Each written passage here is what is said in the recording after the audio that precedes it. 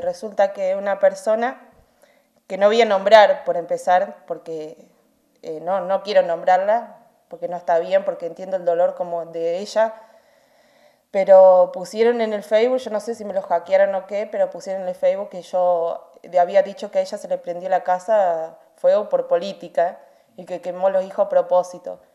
Eh, yo jamás puse eso, yo lo que puse fue un mujer en la cuarta vez que se te quema la casa, eh, que no sabía yo, que mi marido me dijo que era como la cuarta vez que se le quemaba, entonces yo le puse así, no lo puse de, de, mala, de mala intención, porque me dio pena lo que le había pasado.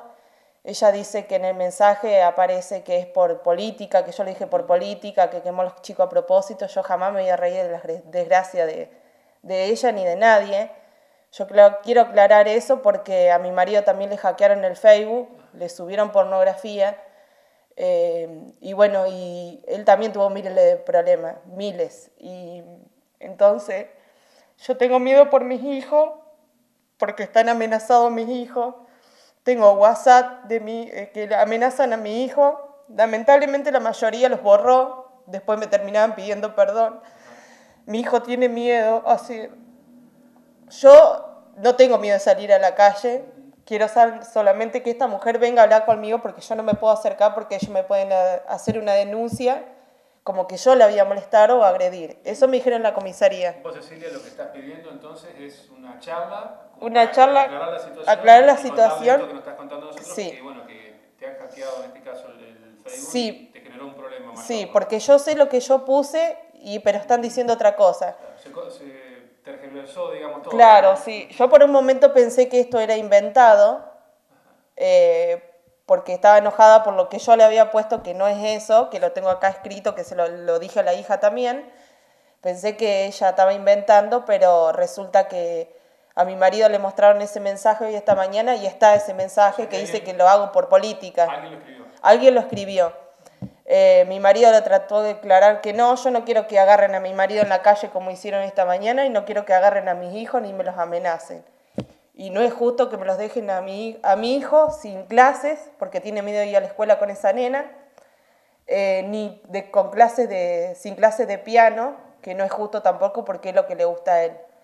La entiendo como madre, entiendo la situación de ella, lo dolorida que está, pero no es justo porque no lo hice porque no tengo motivos para hacerlo. Yo siempre la he saludado, le he hablado, eh, la hemos tratado bien. Claro, no, no gano nada yo poniendo eso. Yo tengo miles de problemas. El nene tiene la misma enfermedad que tiene el nene, la tiene mi hija también. Eh, entonces, eh, a mí yo no gano nada ensuciando a los hijos de ella sabiendo que yo tengo más problemas que ella. yo no me voy a ir ni de Winca ni voy a dejar de salir de la calle por esto. Yo nada más lo que pido es, nada más que, no le hagan nada a mis hijos. Está bien. Y que vengan a hablar con vos para que se aclare la situación. Que vengan a hablar conmigo, que, porque yo no me puedo acercar. Una denuncia no quiero hacer, yo si quisiera haría una denuncia porque tengo todas las capturas. Yo borré el Facebook de un principio, se me borró Message todo. Había tenido que borrar anteriormente otro Facebook porque también me aparecía que Facebook me pedía que borrara esas cosas indebidas que yo subía, que nunca vi qué cosa eran, que el mismo Facebook te lo pide. Eh, bueno, mi marido tuvo que cambiar la clave, no cambió la cuenta, pero sí la clave por lo que le había pasado, también que tuvo problemas.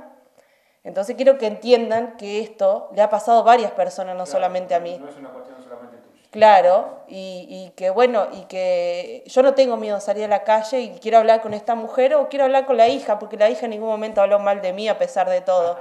Ella es bastante educada, siempre cumpliendo con su trabajo, nunca tuve problemas con ella. Em, que bueno, que estas cosas se aclaren hablando y no amenazando, por supuesto.